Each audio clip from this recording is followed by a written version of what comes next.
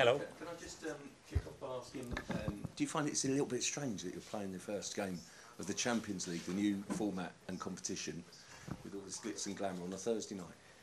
Well, it's different. So here we are uh, playing on a Thursday night in Champions League, which is um, different, but um, really happy, motivated, very enthusiastic. Uh, first game, um, a really tough place to come. Um, they built something amazing here, and, and, it was a beautiful story what they achieved last season.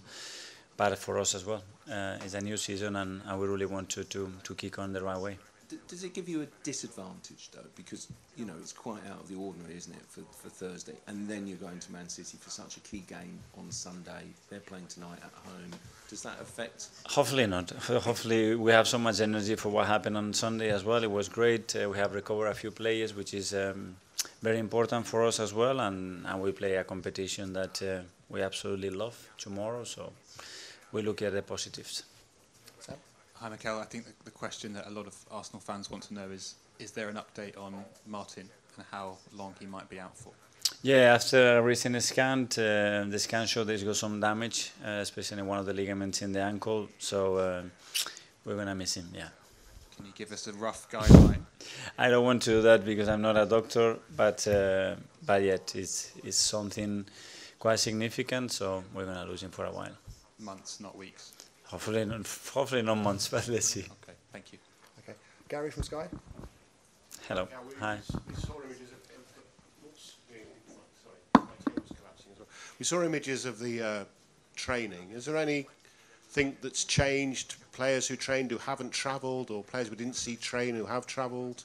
Riccardo, that uh, he was able to train today, um, so he will be available. He's in the squad, and it's great news because. Um, as we all know, we've been quite short uh, the last few weeks. You've got decisions to make, obviously, with a massive game coming up, yeah. and you're playing on a Thursday night away as opposed to a Wednesday night at home. Will you have to rest some players? Will you have to tweak your squad, use your squad a little bit? No, we are in September. We have to we have to put the players that we believe are the best to win tomorrow, and that's the the most important and um, and the only thing for us. Isan. Hi, Mikel. Hi. What is it about Arsenal and on the road in 2024, especially in the Premier League? You guys haven't been beaten. It's a bit of a different story in Europe uh, last season. But what is it about on the road that you guys do so well? Is there anything particular that you do before games at all? Well, because if we want to be at the level that we want to be, we have to be really good on the road and at home, and there's not a choice. Uh, so we have to continue to to be that consistent, get the results, especially get the performances that are going to get us the results. And in Europe, as you said, um, it's extremely tough. Like it's in the Premier League to win, but um, hopefully we can we can be more effective than we were last season because especially in this competition small margins define results, and, uh, and we have to be really good at it. Of the five away games in Europe, there were three defeats. What do you think are the nuances between playing away in England and in Europe? Well, there are, but as well, obviously, you don't know the opponents that well, and um, and then boxes become crucial. I think at this level, there are small details, small moments um, that defines the story of the competition um, and defines the story of a game. And in the Premier League is a bit different, but in, in Europe the teams are ruthless, and um, you better be at your best and be very very effective. Hi, Mikel. Just on a bit more on Odegaard, please. Um, obviously, it's a big miss for you, but are you confident that you've got the players to to fill in for him while he's while he's absent?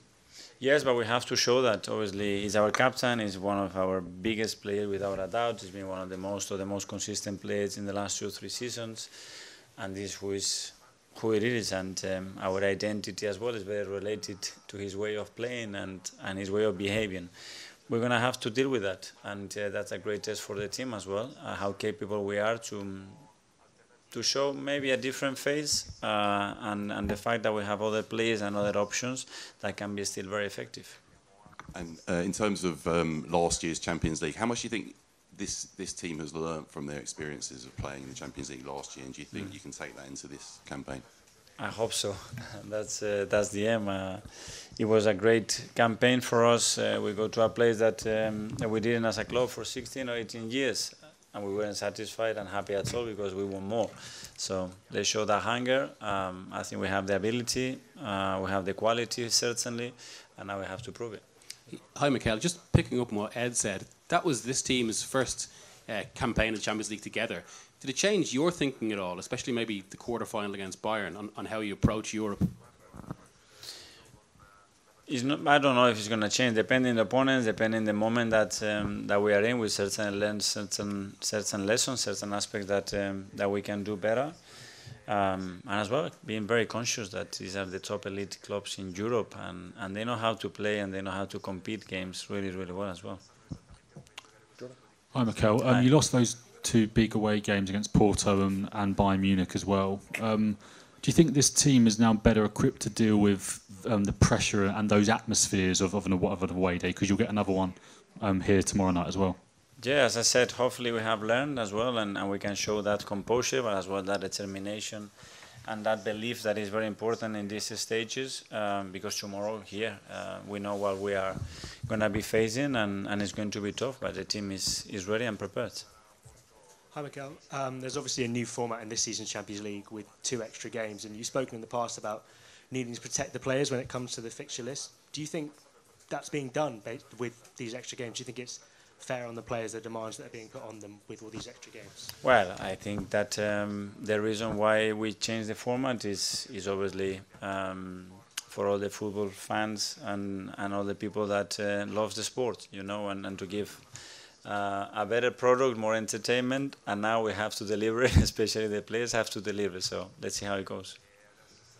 Uh, hi, Mikel. Have you been pleasantly surprised almost by how the players as a group have responded to kind of coming close last year and having a disappointment? How big of a test is it to start a new season with a lot of determination and resilience? Yes, well, I think this team has always reacted that way, and uh, and the fact that uh, obviously we weren't satisfied and we wanted more, and we knew that uh, that we could be there, and we have the level, and, and we lost a few things on the way that didn't allow us to be there. Um, that has to be in the tummy, you know, and a new season, uh, new opportunity, and that's the beautiful thing about sports. Just quickly uh, uh, about Bukayo Saka, who, who had a slight injury concern at Tottenham. Is he fine? Yes, he's able to to train today, and uh, he completed most of the session, uh, so he's available. Ian? Hi, Mikel. Just talking about your, your away form, um, you're yet to actually trail in any game in the Premier League away from home in 2024. What has changed, and when did you notice that change, and how can that benefit you in Europe?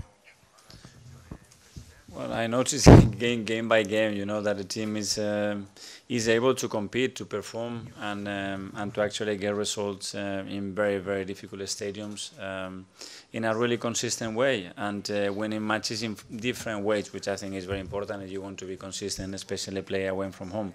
And now we have to put that those learnings to the Champions League, as you said, and uh, and show tomorrow that we are capable of doing that molto. And I think finally we're going to go to Nick at the back. So Nick, you can have to shout. Give a shout. Hi.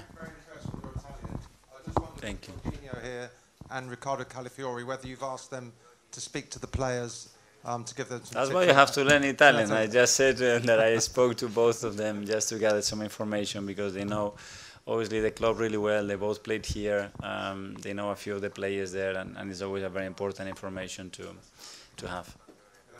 Grazie. Grazie. Buonasera a tutti. On AM, on DAB, via the TalkSport app, and on your smart speaker. TalkSport.